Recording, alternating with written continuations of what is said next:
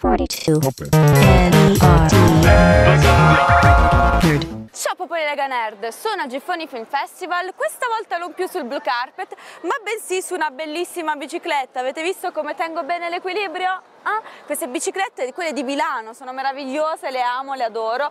Comunque oggi grande giornata, giornata da premi Oscar. Infatti qui sul blue carpet del Giffoni Film Festival c'è stato Gabriele Salvatores che arriverà prossimamente al cinema con Il ragazzo invisibile 2. Se siete curiosi di sapere quello che mi ha raccontato, io vi consiglio di restare con me.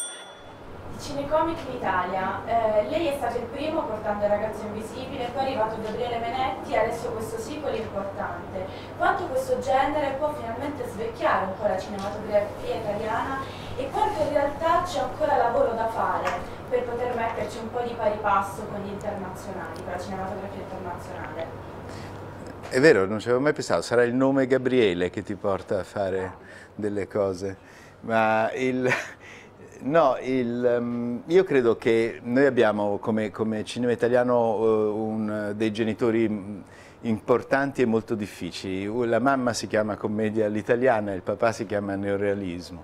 E ci hanno fatto diventare grandi, ci hanno fatto eh, diventare famosi nel mondo eh, e ci hanno nutrito, però eh, il compito di qualsiasi persona è quello di superare i propri maestri, di superare i propri genitori. Per, per eh, superarli devi conoscerli, devi amarli e devi conoscerli, allora puoi andare avanti ma eh, eh, in Italia è arrivato il momento di eh, forse superare questi genitori che ci hanno fatto grandi. Credo di sì, credo che si sta aprendo una strada eh, diversa eh, per raccontare la realtà non solo attraverso il realismo, ma anche usando eh, storie eh, più fantastiche, se vuoi, o non strettamente realistiche. Del resto il termine realismo, eh, dopo la scoperta dell'inconscio da parte di Freud o della realtà virtuale della, eh, e l'arrivo delle nuove tecnologie, va ridefinito come noi. Che cos'è reale? No? Eh, si parla tanto di fake news, di realtà virtuale, di compagnia bella, quindi,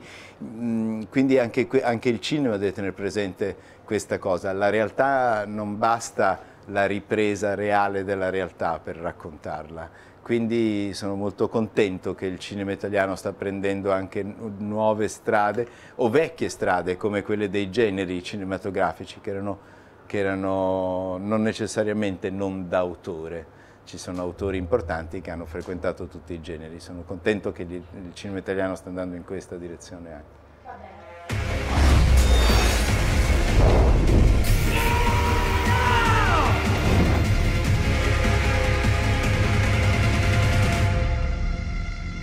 I supereroi non esistono.